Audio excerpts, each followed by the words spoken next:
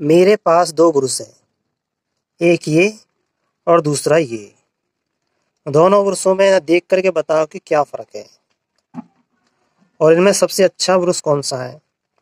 एक ही कंपनी का ब्रुश है, दोनों के दोनों। और एक ही इसकी साइज़ भी एक जैसी है। और एक जैसा इसका, इसकी मोल्डिंग है। बिल्कुल कॉफ़ी है एक तरह से, दोनों में कोई भी फ़र्क नहीं है। लेकिन इसमें अंतर मैं बताता हूँ। इसमें सबसे अच्छा ब्रुश कौन सा है? और सबसे महँगा कौन सा है? तो सबसे महँगा ब्रुश तो ये है। इसकी कीमत है तीस रुपये और इसकी कीमत है बीस रुपये सबसे पहले मैं ये ब्रश लेकर के आया था, मैंने दुकानदार से कहा कि मुझे महँगा ब्रश देना। तो उसने महँगा ब्रश निकाल के दिया तीस रुपये का। उसने कहा कि बहुत बढ़िया है, सॉफ्ट है और मसूड़े भी इससे सुरक्षित रहेंगे, मसूड़े ख़राब नहीं होंगे। तो मैंने कहा, ठीक है, दे दो तीस रुपये का। तीस रुपये का ब्रश ले लिया मैंने। अब घर आकर के मैंने जैसे ब्रश किया तो पता है क्या हुआ? इस ब्रश के जो दांते हैं, वो इतने सॉफ्ट है कि मेरे दांतों की गंदगी साफ़ ही नहीं हुई। जो मैंने खाना खाया, वो खाना ही बिल्कुल दांतों के चिपका रहा। अब तो मुँह से बदबू आने लग गई।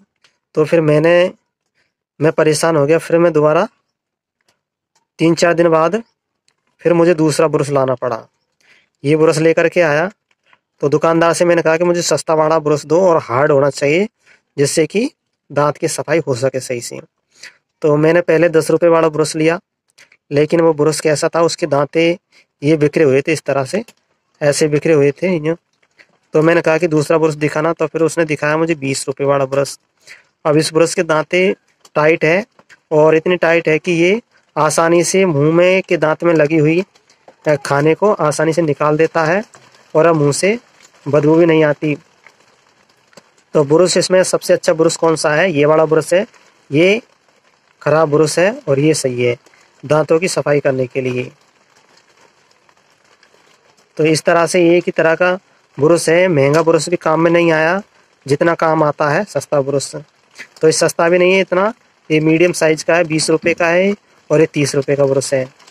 तो आपको वीडियो कैसी लगी, वीडियो को लाइक करना, चैनल को सब्सक्राइब करना और ये बात हमेशा याद रखना कि जो महँगी चीज़ होती है वो हमेशा अच्छी होती है।